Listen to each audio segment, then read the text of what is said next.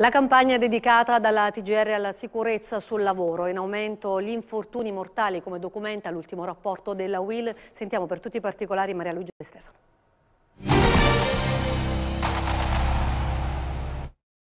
23 decessi ogni 10.000 infortuni e questo è il dato drammatico che colloca il Lazio al primo posto per numero di morti sul lavoro, un primato che la Regione fa fatica a perdere con ulteriore incremento dell'1,1% di incidenti sul lavoro da un anno all'altro.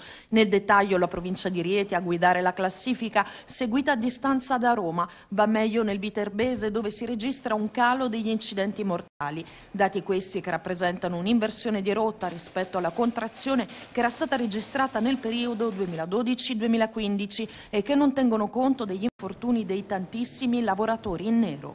È impressionante anche nel Lazio l'incremento delle malattie professionali.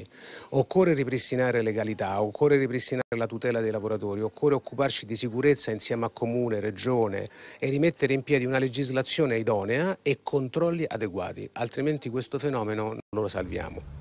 Mentre i dati di quest'anno e quelli del 2017 sono ancora parziali, quelli dell'anno precedente, il 2016, parlano chiaro. Sono stati oltre 45.000 gli infortuni sul lavoro denunciati, la maggior parte dei quali a Roma, una cifra che rappresenta il 7,1% del totale nazionale. Di questi il 35% riguarda le donne, ben 104 quelli con esito mortale.